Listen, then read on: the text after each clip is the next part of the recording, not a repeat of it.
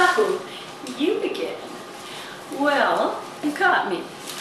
I'm here developing film. Yes, film. You know, sometimes when I used to develop film, I'd wake up and smell the chemistry on my hands, and I love the smell of fix in the morning. And back then, we didn't need computers, we didn't need Photoshop, we had faces on our film. We just developed and went about our business. Now, what I'm going to show you is how that process was done because it may be a thing of the past someday. So we're going to record it here on this camera right now. So here's part of the process. Oh, first of all, I need some rubber gloves. There's a lot of chemistry involved when you develop film. So I'm protecting myself these days and my hair. So now I'm going to pour in chemicals. I'm going to take the temperature of the chemicals. I'm going to agitate the film. And after about 10 minutes, voila, I have some pictures.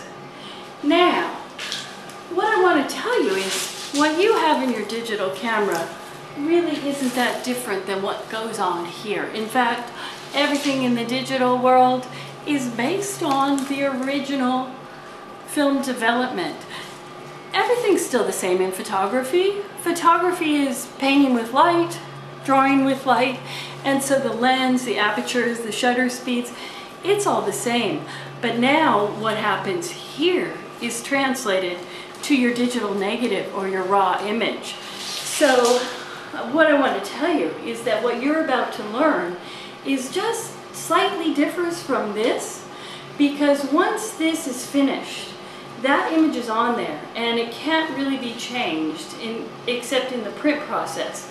But with Camera Raw, you can develop your settings, and that's what it's called in Camera Raw, or fix your hair, whichever you prefer. But once you develop your settings, you can then also undevelop your digital negative, and that's what I want to show you. You can't undevelop this. Whew, might have blinded myself there. So once I finish all this and I get my negatives, I am finished with the process. But with the digital negative, you have a lot more options in terms of changes, settings, recourse to your original source material. And so that's what I want you to learn from this video. And the film is done with now.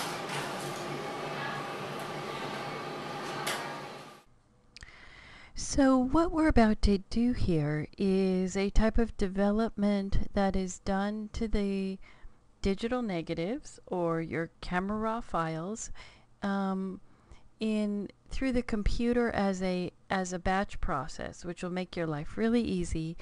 And so a lot of people have the question okay the camera raw image can't be written over. It's a read only image. And until they experience how to revert back to the original it kind of never solidifies and so once we do this exercise you'll see that your camera raw image is always in its first sort of undeveloped negative state. Um, and you can always go right back to that, and that's what I love about it. So, first of all, let's take a look at these images. Right now, we're in light table view. And let me go smaller here so you can see them all.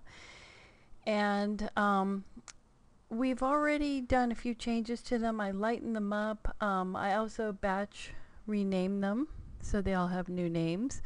And so even a batch rename is a type of development. Any sort of process that you do to your picture, and in, I know it seems sort of strange, but even the renaming is going to generate an XMP file. So the way that I defined if the camera raw image is developed or not developed is if it is attached to a XP or an XMP file.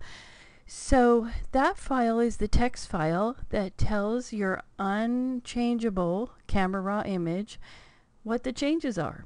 So basically all the changes are stored in that XMP file and that's why the image and the XMP file have to travel together. Otherwise you will lose all your development. Those things are not attached not until you bring them into Photoshop when you turn it into a JPEG or a TIFF or a PSD then those developments merge with the image and you lose your XMP file. So just to give you a visual on this, I'm going to hide Bridge for a second and open up the folder that those images we were just looking at are located on my desktop. And here you'll see all these weird files.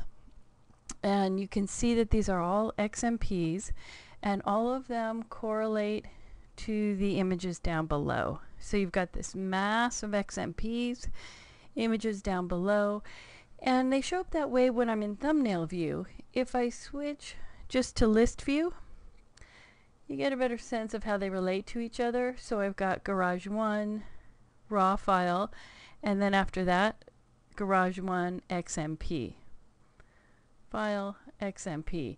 So you can see a little better how they should travel together. If you were going straight from the folder, you'd actually want to grab both of them. Now technically in Bridge, when you drag the image to a folder, it seamlessly and invisibly um, transfers the XMP file. But every once in a while I see glitches and sometimes I actually transfer the images to a folder within the Bridge palette. Like I make a new folder and then I transfer the images just to make sure I'm bringing that XMP file. And usually I, I don't find a glitch. If I just move the image, it will bring the XMP. But you can always go to the folder and double check. And you want to make sure you have something that looks like that. So back to Bridge.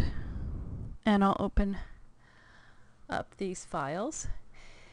And let's take a look at these. I'm going to go to my horizontal film strip, my preferred mode for the most part. Um, and I'm going to make some radical changes to these images. Like right now I just have a few subtle changes, but I want some changes, real big bulky changes so that you can see what it looks like when I develop the negative and then the beauty of the camera raw file, unlike a negative, I can undevelop my negative. So I'm going to do our usual Command A to select all. And then I'm going to do um, a uh, Command R, which got me into Camera Raw here. So Apple R or on the PC Control R. And then remember, you got to hit Select All again. Otherwise, you'll feel really embarrassed. You only worked on one image. And so let's see. I am going to, let's say I change it to black and white because that's what we've been doing lately. So that's a real radical change. And take note, because this is really important, is right over here, I get this symbol. And that symbol is actually the one that represents that you have an XMP file. It's telling me that changes were made to that image. And just so you can see it, I'm also going to do a crop like we did in the last video. Simple crop because I want you to see over here um, it also gives me a symbol. It's within Camera Raw. I think they felt it was really important that you knew that you cropped the image. Like that's a radical move. And there it is. We're even putting a symbol there to tell you. So, and let's see. Let's do something else. Um, how about split toning? Split toning was a really cool um, when you used to do it the old way, you'd actually have to dip your print in like, let's say a sepia tone, which is really smelly. So let's let's do like a sepia tone. Let's see. And I have to turn up the saturation. So I'm getting like kind of a yellow antique feel here. And then and then what you would do is dip your and maybe I'll darken it a little. How's that? Um, then you would dip your negative or your I'm sorry your print in another tray that had something like selenium toner which would give you a blue in your shadows. So you get sort of a, goldish with a blue undertone. And that was really the sort of the traditional split toning that a lot of photographers used to do. Let's see, how extreme do I want to make this? How about that so you can really see it? Okay, and then remember I could kind of go through and look at my negatives and see if I like how I compose them. This could take me a while. I could get way involved in this. So I'm going to lighten all of them up again. Okay, so I've made some major changes here. I split toned the image. I turned it into grayscale. I cropped the image up here. And, uh, and you know what? I might lighten them all again too. Just a little lighter so you can really see the effects of that split toning. Maybe bring in a little more black for contrast. Okay, so we made a lot of changes here and I'm going to hit done. And if I'm not, I'm seeing the image come up, so that means I have a high quality thumbnail chosen. If you don't see that, remember you right click and go down and see how it says generate quick thumbnail. What that means is that I'm on high quality already. Otherwise I'd see high quality thumbnail. If you see both, that means some of your negatives are quick thumbnails. It's like a mixed batch. So we usually want to look at our images with the high quality thumbnail so we can see what we've done. Hmm, that looks pretty cool actually. Sort of amazing what you can do with this. On these metal images, that works really nicely. So anyway, okay, I'm getting all involved here. Um, so now I've made all these changes and you can see down here on the bottom, there we go, um, that I've got those dual symbols that I made a crop and I have settings where I've changed things. So let me go to light table and see how you see those settings again right there. But in light table it's easier to see what I'm doing here. Okay, now, this is the coolest thing. Um, I can take all these images now. Like, let's say I printed some of these and I thought, you know what? My client really wants these in color. They didn't like the old feel of this. They wanted the bright punch of the blue. And all of a sudden I'm in a panic. Like, I changed them all. Is this going to be a pain to have to bring them all back? The answer is no. Watch this. I'm going to Command A select all of them, Apple A. I'm going to right click it and, and this is the easiest way to do it. There are other ways. Um, but right click and I'm going to go down to this really handy menu here which is called develop settings. Remember we're talking about developing and I'm going to just say clear those darn settings. So I hit clear settings and slowly but surely, the whole thing is cleared. Nada. Isn't that amazing? Now I could right click it, go back to develop settings, and say previous conversion, which is what I just did. You want to be careful when you hit that one that you know what your conversion was. And it brings it all back. So, let's talk about another thing. Um, actually, I'm going to get rid of this. I want to go back to the color just for the drama. So it's so fun when that happens. Look at that. So cool. So you could do it one at a time. You could do the whole batch. The only reason the whole batch is working here is because I did a Command A, select all. A lot of times what happens to me is I will open just one image in Camera Raw. So I'm going to hit Command R open it up in Camera Raw, and then I will make some changes. So let's say I lighten it up, make it a little darker. We'll go to our usual grayscale. So let's say you've just changed one. You hit done.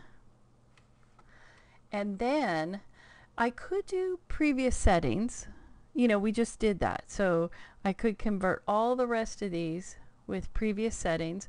Or let's say it's a day or two later and I've got, you know, one image that I got exactly the way I wanted it. And then I realize you know what, I want to see all of them that way. This is really handy too. You do a right click, develop settings, and this is really tricky. All you do is go copy settings. This is literally a copy and paste, but you copy and paste your development. So I could say copy settings, and then I could just go to the next one, right click it, and here's our territory, develop settings, paste settings. And now this is really cool. If I had, let's say I did my black and white conversion and I did split toning on the first one, and then I didn't want it, I could just uncheck split toning. So in other words, this gives me a list of all the options in the Camera palette and I can pick and choose at this point which ones I want to paste on to the next image. I think that's brilliant. Anyway, so I click OK and there it is. It pasted this, the setting from this image onto the setting of this image. And there's so many times I work on one image and then I want to make those changes to other images. That's a really easy way to do it. Now I could get really greedy and just click on the first one and select and I was holding down shift by the way and clicked on the first one and then the last one here to select everything else remember I've already copied that black and white setting so now I just right click it develop settings and go to paste settings I want to use everything I did before and there we go they're all just turning to my original setting. Won't that save you a lot of time? So, so much for getting your hands dirty and chemicals all over them. Just a click of the button, right and left, and look what you get.